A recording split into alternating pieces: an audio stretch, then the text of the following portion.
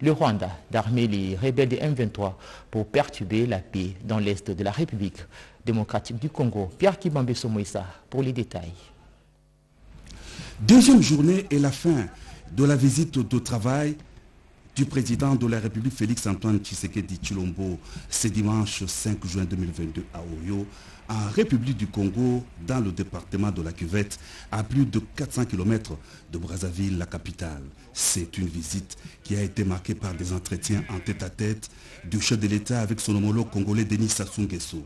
Cette rencontre intervient sur le plan bilatéral dans un contexte de raffermissement de bonnes relations d'amitié et de coopération entre Kinshasa et Brazzaville et sur le plan sous-régional dans un climat de discorde causé par le différent qui oppose la République démocratique du Congo et le Rwanda soutenant le M23 qui attaque le pays dans la partie est du territoire national. Au cours du point de presse animé à l'aéroport, à l'issue de leurs entretiens, le président de la République Félix Antoine Tshisekedi Chilombo a réitéré sa bonne foi sa volonté et sa détermination d'engager la RDC sur la voie de la paix avec tous ses pays voisins pour la stabilité et le développement de la sous-région. Hélas, cette paix recherchée depuis son avènement à la magistrature suprême n'est pas à considérer comme un signe de faiblesse, a renchéri le chef de l'État.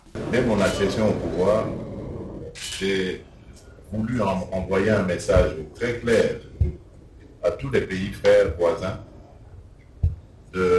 un message de paix, un message de solidarité pour que nous puissions ensemble nous liguer pour faire face aux, difficultés du moment dans le monde et dans nos pays et tourner ceux-ci, nos pays, vers le développement plutôt que euh, vivre les tensions du passé. Et j'ai toujours euh, soutenu qu'il fallait plutôt construire des ponts au lieu de construire des murs. Ça, a toujours été mon, mon Malheureusement, aujourd'hui, nous en sommes là où nous sommes. Euh, je suis le premier affecté, comme je le disais, et j'espère que la situation n'en restera pas. Ce que je voulais simplement dire, c'est que le fait de vouloir la paix la fraternité, la solidarité n'est pas une faiblesse. Ça, on doit le savoir. La République démocratique du Congo que je dirige et celle que je veux voir, c'est un pays où règne la paix, la sécurité, l'hospitalité, parce que notre pays l'a toujours été. Mais cela ne doit pas euh, constituer euh, une euh, occasion pour des voisins de venir nous provoquer. Donc j'espère que le Rwanda a retenu cette euh, leçon, parce qu'aujourd'hui, c'est clair, il n'y a pas de doute, le Rwanda a soutenu le M23 pour venir euh, agresser la République démocratique du Congo. Et j'en veux pour preuve le simple fait que en 2013, les mêmes M23 avaient été totalement défaits et leur arsenal avait été confisqué. Si aujourd'hui ils ont repris du poil de la bête, ça veut dire qu'ils sont partis de quelque part. Le président Denis Sassou Nguesso a vivement salué la visite de son homologue de la RDC à Oyo. Il a lancé un message de paix sans laquelle l'Afrique ne saura relever les multiples défis auxquels elle est confrontée. Euh, aujourd'hui, l'Afrique euh, a de nombreux défis à relever. Crise euh, sanitaire, économique, financière. Et même les, défis de l'alimentation de nos populations. Et nous ne voyons pas comment nous pouvons relever euh, ces défis. En Afrique s'il n'y a pas un climat de paix et de coopération euh, en Afrique on n'a pas besoin de faire un dessin pour cela. Et voilà pourquoi euh, je salue la visite euh, ici à, Oyo euh, mon frère, le président Tshisekedi Chilombo. Et pense que nous avons eu des entretiens fructueux. Avant même euh, euh, d'être ici, euh, nous avons évoqué ces questions à Malabo en marge du sommet extraordinaire de l'Union africaine. J'ai discuté ces questions avec le président en exercice de l'Union africaine, à Malabo. J'ai discuté de ces questions, l'action entre la RDC et le Rwanda avec euh, euh, le président euh, Joao Lourenço, qui est président en exercice dans CIRGEL.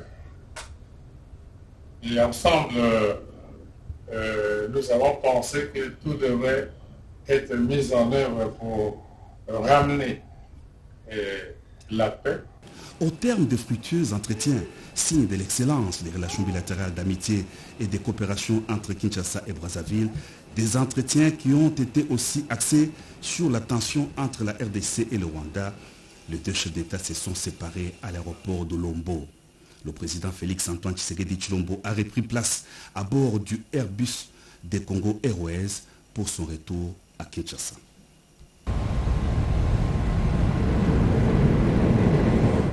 Et pendant cette période que les FARDC font face à l'agression des rebelles des M23, la police nationale congolaise, de son côté, se mobilise pour assurer la sécurité des personnes et de leurs biens avec beaucoup de professionnalisme. Celle déployée à Kibunda, dans le territoire de Rutshuru, a reçu la visite du commissaire général adjoint de la police, une façon pour Patient Mouchidiav de remonter le moral de ces hommes. Imagine commentaire.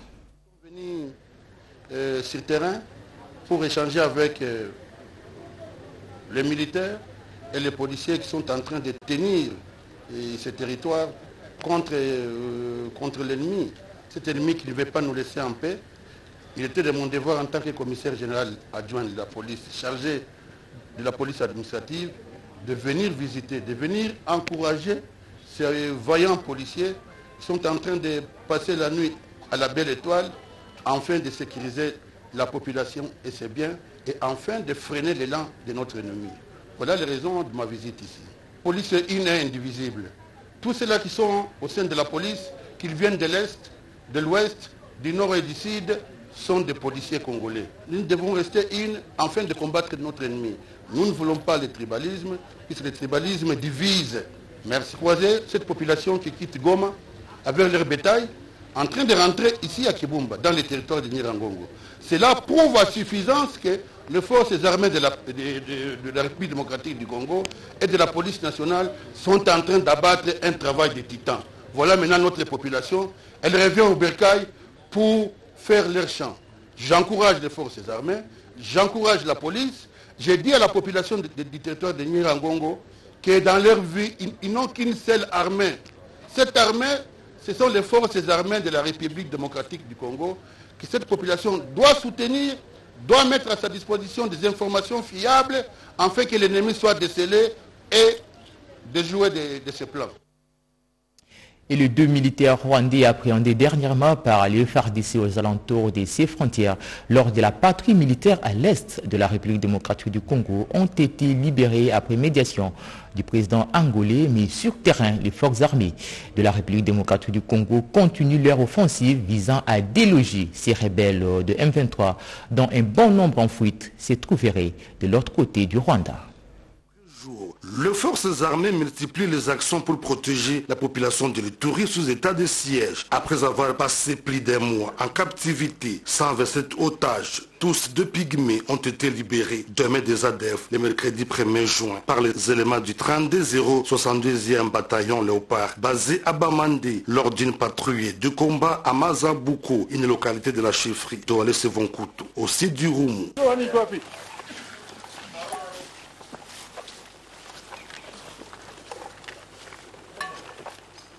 oza liboso correcte komisa mokonzi na mboka wana liboso wana na ngambo ya mai présenté à l'administrateur militaire du Roumou ce jeudi à Bamandi lors d'une visite d'itinérance ces premiers citoyens de la RDC par le billet de leur chef remercie l'armée.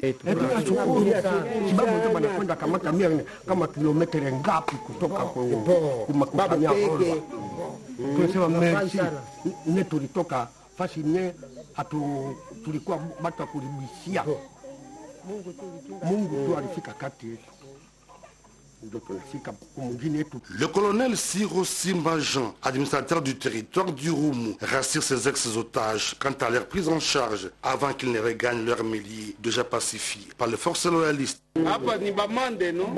Ni mwenu okay wakati niko nafika mungamba niko na leve mesure yene nilikuwa nasema keno batu bakuwa nafika tu 5 km sasa hivi pori ni yenu. Mwende hata fasi yote hapa mbori yote ya bamanda ama ya mungamba ama sehemu yote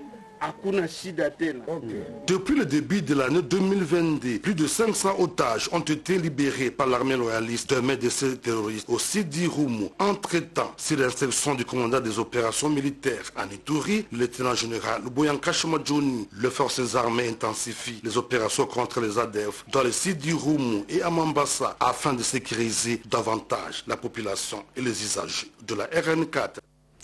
Un lundi de la Pentecôte, quelques membres du gouvernement restent convaincus en la victoire de nos FARDC face à l'agression du Rwanda. Ces derniers ont commencé leur journée par un culte de jeûne et prière pour la paix sur toute l'étendue du territoire national pendant que nos vaillants soldats se battent sur le front et fléchissent les genoux et lèvent leur voix pour implorer la grâce divine. Angèle Mabiala a participé à ces cultes à Kinshasa. Le cortège de la ministre d'État en charge du portefeuille est arrivé à la cathédrale protestante du Congo, la prière pour les FARDC est une priorité pour cette servante de l'Éternel qui ne jure que sur la restauration de la paix sur toute l'étendue du territoire national. La princesse Adèle Kainda Maïna, diaconesse, Mamaki Pendano, qui a convié la population quinoise à la journée de jeûne et prière pour les FARDC, a voulu ainsi donner l'ego. Nous suivons le modèle de Jésus-Christ qui s'est levé très tôt matin pour aller à, à la montagne des monts des Oliviers, intercéder, prier pour avoir des directives de Dieu son Père. J'ai déjà la foi et que en Jésus-Christ, les phares d'essai seront plus que vainqueurs et à la tête du commandant suprême des phares d'essai, le président de la République, chef de l'État, Félix Antoine Tshisekedi Chilombo. Et c'est un lundi de Pentecôte. Donc c'est le Saint-Esprit qui est en train d'agir. Et ce Congo sera la référence. Chant, prière, intercession avec les intercesseurs. À 16 heures du matin, il faut le faire. Il faut être une battante pour le faire. Si chaque Congolais se donne une minute pour prier pour le pays, la paix va régner dans toutes les provinces de la République démocratique du Congo. Ceux qui ont choisi de servir le pays sous le drapeau ont besoin de nos prières pour que la paix, la paix règne à travers toutes les provinces de la République démocratique du Congo. C'est comme ça que les Quinoises et Quinois ont répondu présent à l'appel de la ministre d'État en charge du portefeuille, la princesse Adèle Maïna, du reste servante de l'Éternel, de la cathédrale protestante du Congo, Elie Tumba. Angèle Mabiela Landou pour la radio-télévision nationale congolaise. Et puis sachez que la ministre, près le président de la République a séjourné dernièrement dans le Haut-Katanga, Nana Mananina, a échangé sur place avec le chef coutumier et la notabilité de cette partie de la République démocratique du Congo en toile de fond, l'unité et la cohésion nationale. Jacques Kabwaba, rendu par José Baïtombo. La cohésion nationale s'est construite et s'entretient au jour le jour. Nana Manouanina, ministre auprès le président de la République, est sur le terrain pour sensibiliser les communautés sur les vivre ensemble. Dans le Haut-Katanga, la ministre a rencontré le chef coutumier avec lequel elle a eu les échanges enrichissants sur l'avenir de la République dans l'unité, un discours que le chef traditionnel intègre dans la vision du chef de l'État, Félix Antoine Tshisekedi Chilombo, et souhaite aussi que leur voix soit entendue. Le chef coutumier souhaite participer activement à la cérémonie d'accueil du couple royal en RDC, mais aussi au retour de reliques du héros national, Patrice Emery Lumumba. La dernière demande adressée au chef de l'État à travers la ministre auprès le président de la République est l'identification de véritables chefs coutumiers afin d'écarter tous les fausseurs. Nana Manouanina a convaincu ses interlocuteurs et poursuivra le même travail au Lualaba. Et le ministre des Ressources hydrauliques et électricité séjourne dans la province du Quilou. Olivier Mounzi tient à la matérialisation de la vision du chef de l'État, celle d'électrifier la ville d'Idiofa. Déjà, les matériels permettant l'alimentation du courant dans cette ville sont sur place. Marie Kalang et Tonton Makelele. 80% de matériel destiné à compléter les lignes de transport et le réseau de distribution du site Kakobola sont gardés à l'entrepôt Sambilanga 1 et 2 et à l'office de route de Kikwit. Le ministre des Ressources hydrauliques et électricité, Olivier Mouentemoukaleng, accompagné d'une forte délégation des élus du peuple, ont dû faire le déplacement vers cette province, question de suivre de près l'évolution du projet Kakobola. Comme vous voyez derrière nous, nous avons euh, du matériel nous devons juste maintenant euh, le transporter vers les différents postes. Euh, nous sommes représentés ici avec les élus de Gungu, les élus d'Idiofa, pour dire à la population justement que nous allons porter ce projet afin de façon à ce que les lumières puissent s'allumer dans les différentes localités que j'ai citées. Dès que la route sera, faite, euh, nous pourrons évacuer progressivement le matériel de façon adéquate dans les différents centres. Les populations de Gungu, Idiofa, Kikwit et les alentours peuvent encore espérer. Leurs élus sont impliqués, corps et âme, dans cette cause. Euh, lorsque nous avons constaté que les travaux de Capobola ont trop duré, nous avons rencontré les ministres pour savoir ces deux questions. Et comme les ministres avaient mis au programme la visite de chantier de Capobola, les matériels et tout ça, nous sommes dit en tant qu'élus du peuple, autant aller nous rendre compte nous-mêmes pour pouvoir voir ce qui cloche en sorte qu'on puisse mutualiser nos forces, nos efforts, pour régler ces problèmes-là pour l'intérêt de la population. Nous avons visité, l'impression est, bonne. Ce que je fais, c'est le contrôle. Les travaux piétinent, surtout parce qu'il y a un financement qui traîne. Là, nous, appelons, nous en appelons au ministre des Finances, au ministre du Budget, de libérer la cote-part financière, n'est-ce pas, de l'État congolais pour que les travaux avancent et ça finisse, pour que, n'est-ce pas, notre population puisse être bénéficiaire du courant. Le projet Kakobola, cher au chef de l'État, Félix-Antoine Tshisekedi Chilombo, sera fin prêt avant la fin de l'année en cours. Une mobilisation tous azimuts des femmes pour les soutiens aux forces armées de la République démocratique du Congo. Prenons les cas de ces femmes de la dynamique de femmes leaders qui ont, au cours d'un point de presse organisé, salué les efforts des non-voyants militaires qui se battent au front pour défendre les frontières de la République démocratique du Congo. Nadine Yangou. Elles sont bien déterminées à apporter du soutien au FRDC et à son commandant suprême, Félix-Antoine Tshisekedi Chilombo. Membre de la dynamique des femmes fortes des 26 provinces de la République démocratique du Congo. Elles disent non à la guerre à l'Est et à l'intrusion des armées étrangères dans cette partie du pays. À cet effet, elles ont organisé une conférence de presse pour exprimer le soutien au FARDC. Le projet dénommé FARDC Nafon, Biso Namabota Nabango. Donc ces projets consistent à collecter les fonds en nature et en espèces pour aider les familles des militaires. Parce que nous avons compris qu'un militaire au front, il met sa, sa vie en danger pour protéger l'intégrité territoriale. Il se sacrifie pour sauver les vies de tous les Congolais qui sont en danger.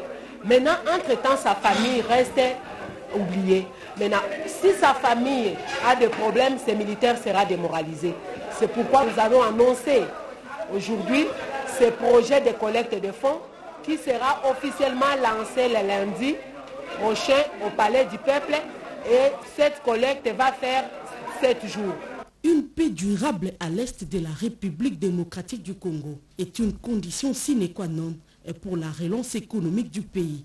Aussi l'amélioration des conditions de vie et de sa population ont-elles souligné. Ils ont toujours un regard de solidarité avec leurs compatriotes restant au pays. Donc ici, en République démocratique du Congo, la diaspora congolaise a sensibilisé les jeunes filles sur euh, l'hygiène menstruelle au cours de cette cérémonie. Un kit hygiénique leur a été remis à l'occasion de la journée mondiale de l'hygiène menstruelle. Jeunes filles vulnérables doivent savoir l'hygiène menstruée pour mieux se prendre en charge pendant la période de règles en vue de se prévenir de toutes sortes des infections et même des grossesses non désirées. Cette question n'épargne pas les filles autistes, d'où le choix de la Fédération de la diaspora congolaise aux filles de l'école Les Amis de Daniel, spécialisée en leur encadrement pour sensibiliser quant à ce sujet. Les bondes hygiéniques devraient être changées chaque après 4 ou 6 heures d'utilisation, comme a dit Justine Audia, infirmière à l'hôpital Diamant, qui a également expliqué comment se tenir en les apprenant ce que c'est le règle ou menstruer. Une conférence organisée à l'école Les Amis de Daniel par la Fédération de la diaspora congolaise qui dirige Maître Dieudonné Bambouyi pour soutenir les compatriotes restés au pays. Comme serviteur de Dieu et avocat au barreau de Bruxelles, Kinshasa, Gombe et Kananga, le pasteur Dieudonné Chibobois a également sensibilisé à l'amour du prochain et à la confiance en Dieu. La Fédération de la diaspora congolaise milite beaucoup pour le respect du droit de la femme les gens ne savent pas ce qu'est l'autisme. Encourager ceux qui sont rejetés pour montrer que toute personne qui est sur la terre a une certaine valeur. On est venu pour ces deux objectifs. Nous voulons un meilleur Congo, un Congo où il y a la paix, où les gens vivent calmement à tous les niveaux, mais surtout un Congo où les gens s'aiment. Une action qui s'inscrit dans le cadre de la journée mondiale de l'hygiène menstruée célébrée le 28 mai de chaque année. Une trousse intime à la femme a été remise à chacune d'elles, dont des compatriotes vivant à l'étranger qui se sont cotisés en partenariat avec Bless Foundation. Les concerts de Wenge Musica 4x4 prévus pour euh, les 30 euh, juin prochain, jour de l'indépendance de la République démocratique du Congo, demeurent l'actualité musicale dominante 25 ans après leur séparation. Ces artistes musiciens comptent réserver à ces mélomanes un spectacle à la hauteur des bons chics, bon à Kinshasa. Les préparatifs se poursuivent normalement et les annonceurs se bousculent. Dans ces reportages commentés par notre concert Diane Balaka, les soutiens de la Sophie Bank d'affirmer sa solidarité de ces méga concerts de la paix et de la réconciliation. Images et commentaires.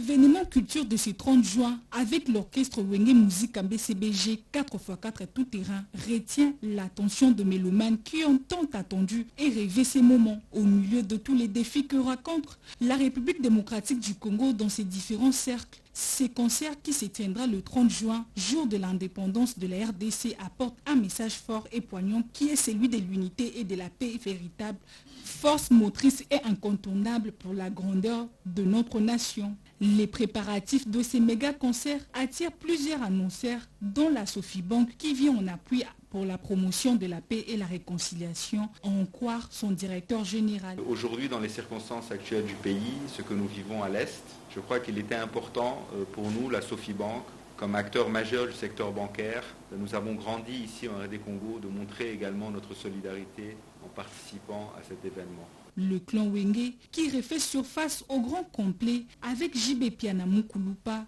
Noël Ngama Makanda Weronson, le prince Alain Makaba et Didier Massela dans une production d'Amadou Djabi, Sophie Bank, s'affiche aux côtés de ces étoiles de la chanson qui ont une influence sur des générations entières. C'était il y a 25 ans la création de l'Organisation mondiale des Nations et Religions Unies à Canberra, capitale de l'Australie, en marge de la célébration de cet événement, une journée d'échange sur la prévention des conflits, la gouvernance mondiale et la consolidation de la paix a été organisée par les représentants de ces structures. À Kinshasa, Serge Mata pour les détails. A permis aux participants, membres du directoire, agents transdiplomatiques, fonctionnaires transnationaux, membres de la Révolution citoyenne, coordonnateurs des différentes structures et autres invités des marques de s'y joindre à la grande famille universelle humaine. C'est là, dans l'unité, la solidarité et la communion des cœurs, au milieu de leurs échanges, la prévention des conflits et la consolidation de la paix, allusion faite à l'invasion de l'Ukraine par la Russie et l'attaque des positions des FARDC par les M23. Pendant plus de 20 minutes, Zenon Kiyobo, président du directoire des Nations et Religions Unies, a parlé de la gouvernance mondiale, des idéaux des pères fondateurs de cette fédération cosmopolite mondiale, de l'historique, de sa création, du fonctionnement, ainsi que des missions et cadres légales des Nations et Religions Unies. L'ONU organisation sœur, qui est supposée maintenir la paix mondiale. Son immobilisme et son incapacité à gérer les affaires du monde ont laissé la place aux puissances régnantes qui font la loi. Les nations et religions unies, Organisation mondiale, est capable d'assumer le leadership collectif dans le monde en vue d'une gouvernance mondiale basée sur la justice immanente et humaniste pour tous, pour un monde meilleur. Satisfaits de leurs attentes, les participants ont pris l'engagement de travailler dans le but de renforcer la cohésion sociale dans les communautés. À l'appel de leurs syndicats, les ex-travailleurs des entreprises du portefeuille de l'État ont déposé leur mémo au ministère des Finances. C'est là pour exiger leur paiement des arriérés de leur salaire qui s'élève à ces jours à 27 tranches non payées. Revenons en image avec une fois de plus Serge Merlemata. Sur une pancarte, on pouvait lire 27 mois de retard, c'est trop. Désespérés, vivons dans la misère totale et ne sachant plus à quel sens se vouer que ces ex-travailleurs des entreprises du portefeuille de l'État, notamment de la G-Cabine, la SCPT et les trois autres banques liquidées, ont initié cette action de protestation, tenus devant le ministère des Finances quelques jours seulement après une autre action similaire, a eu pour but de déposer un mémo acquis des droits afin d'obtenir gain de cause pour cette deuxième fois. Encore, les revendications ont été claires. Nous étions venus ici, nous avions dit que le gouvernement nous doit au total 27 mois de retard.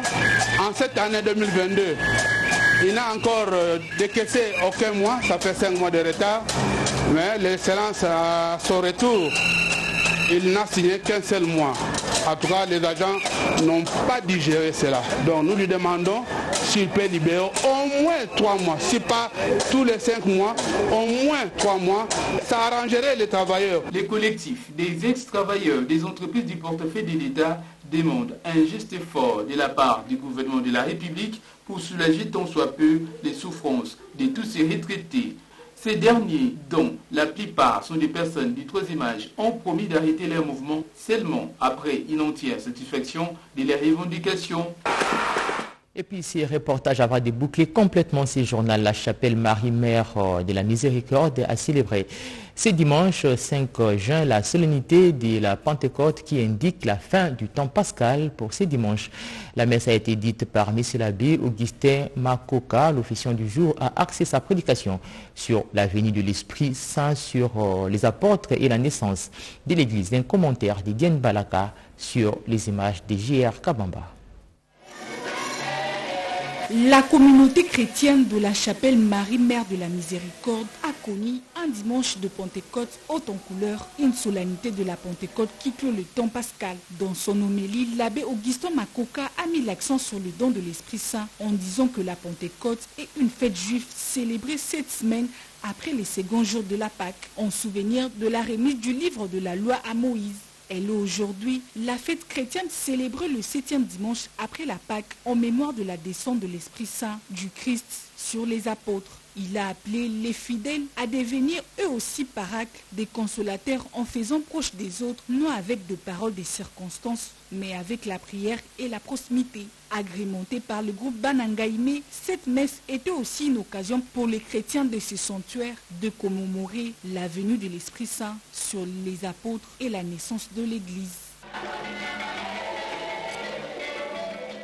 Voilà qui met fin à ce journal de la mi-journée sur les antennes de la radio-télévision nationale congolaise. Merci de l'avoir suivi et surtout restez toujours en position d'écoute, accompagné des programmes de nos antennes. Bon après-midi chez vous.